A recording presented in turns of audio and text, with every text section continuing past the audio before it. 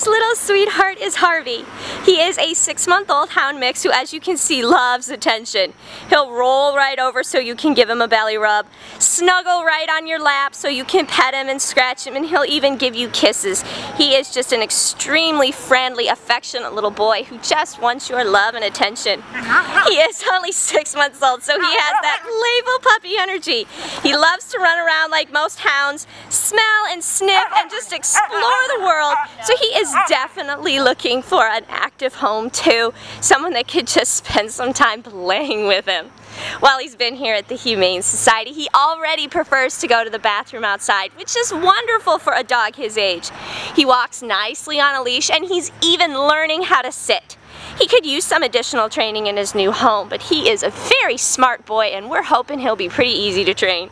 He is just so happy and friendly, just a unique little character who's going to make someone a wonderful new pet.